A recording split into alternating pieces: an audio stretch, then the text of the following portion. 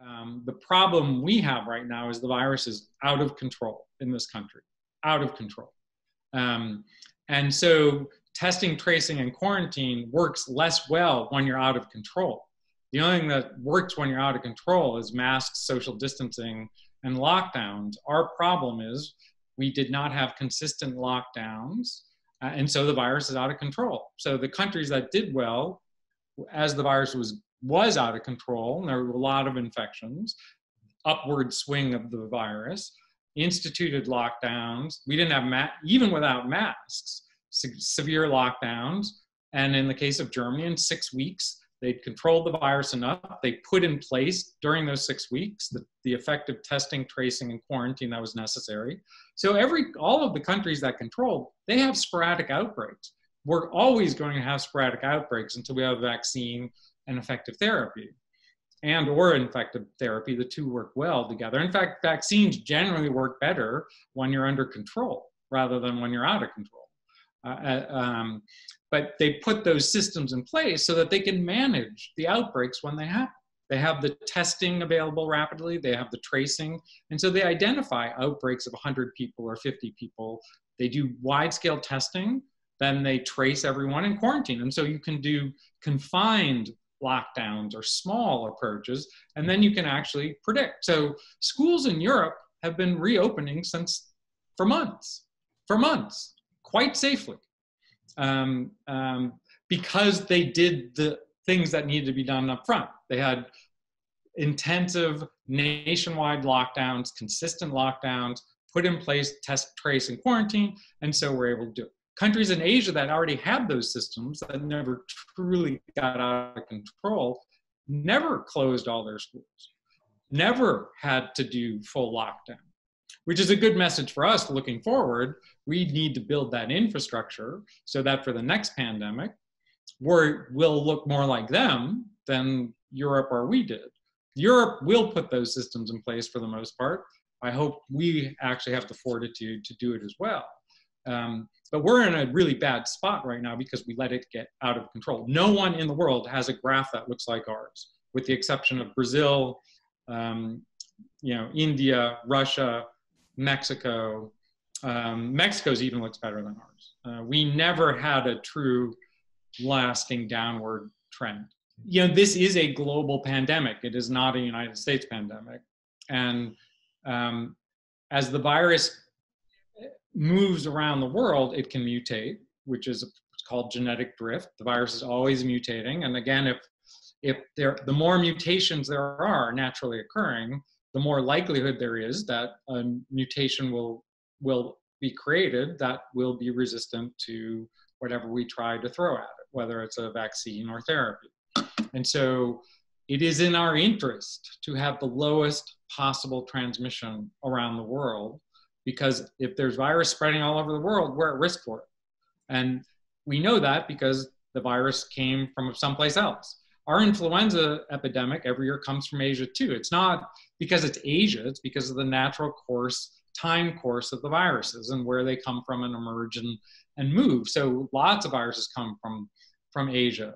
Viruses come from Africa. Some viruses actually originate in the United States too, and then get spread around the world. So that's the nature of a global world and and spread. And and that's why we have pandemics in this way. I mean, so the 1918 pandemic um, basically followed troop movement.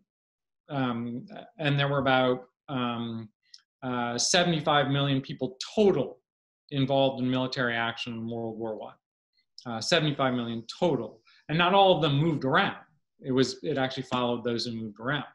Last year alone, in the, or in 2018 in the United States, 324 million people did international travel in and out of the United States, which is great for our economy, but that's what's happening in the world.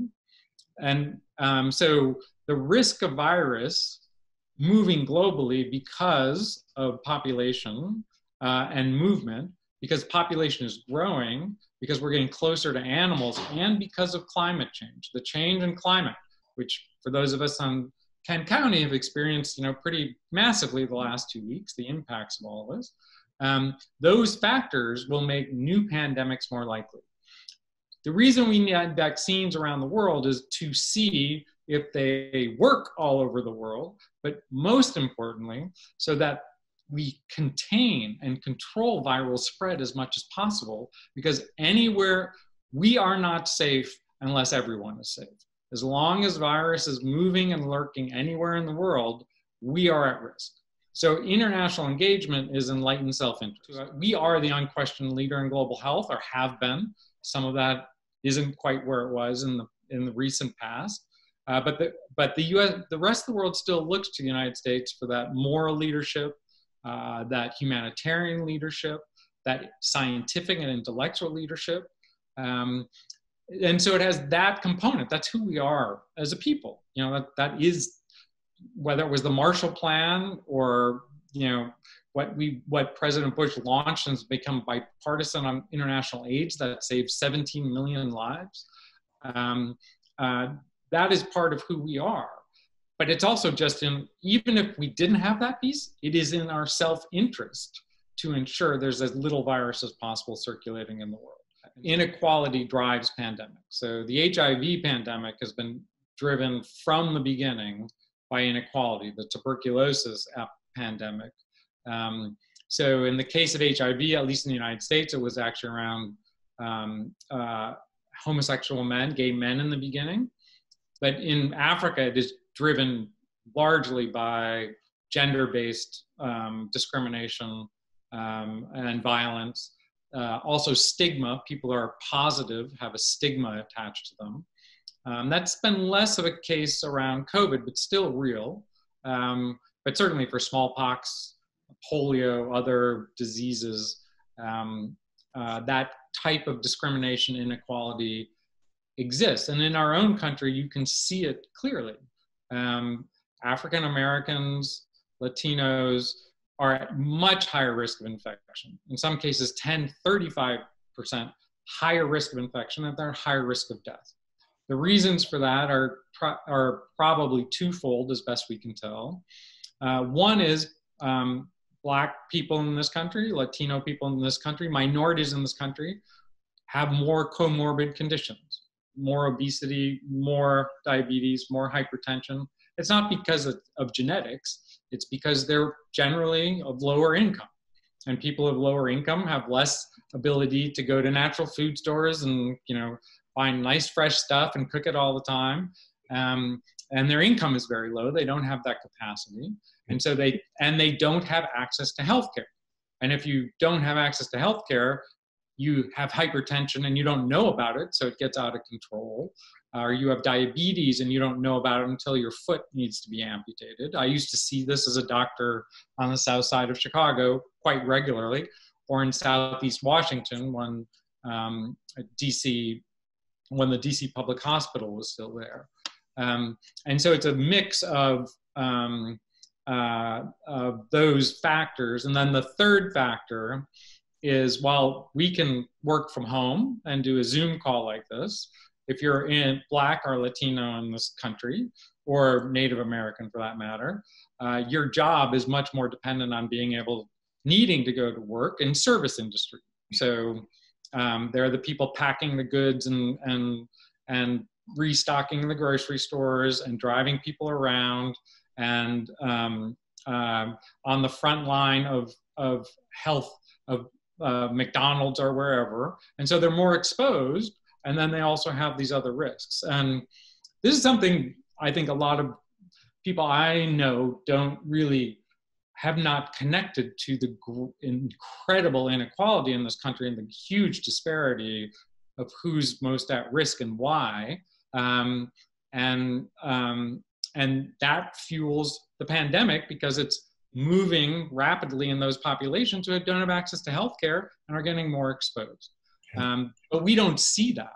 We also don't see, you know, one of the most striking statistics to me is that 40% of people, 40% of people making $40,000 or less lost their jobs. And about 7 million people have lost their health insurance so far because of the economic issues related to um, this disease.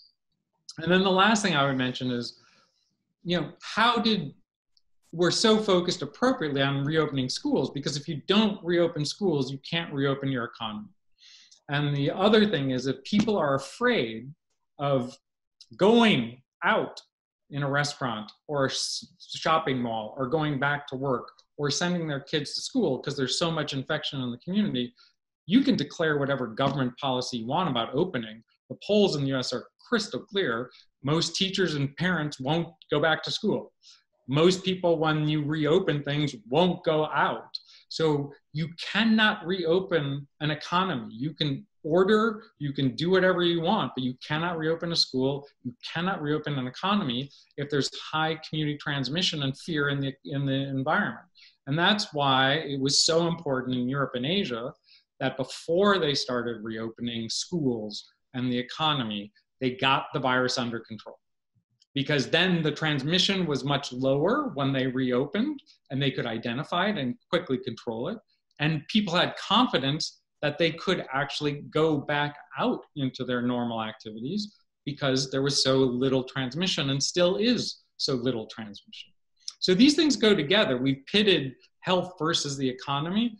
Any economist who's worth their salt will tell you that's insane because if people aren't confident, confidence drives economies. If people aren't confident about going back into life, you, you can open whatever you want. You're not going to reopen your economy. Um, we're in deep trouble. I mean, if we lose our optimism, and and this is another thing. You know, people have one of the privileges of of the work I've had is traveling to 110 countries and meeting a lot of people in various roles and truly people around the world look to America for many things, but one of them is optimism. You know, we're viewed as an optimistic people that are problem solvers and are focused on getting things done, but in a collaborative way, in a united way, the United States. And people actually value that optimism and value that hopefulness. And they and there's good historical reason for it. You know, whether it was World War One or World War Two or post World War One when we fed Europe, or post World War Two when we when we saved the economies of Europe and, and Japan, or more recently when we when President Bush started, but then became very bipartisan um, in Congress and, and with President Obama to be the leaders in global health and HIV, TB, and malaria. I mean, the American people have supported Africans to save 17 million lives from HIV. 17 million. So people, you have to be pretty optimistic to be able to do those things.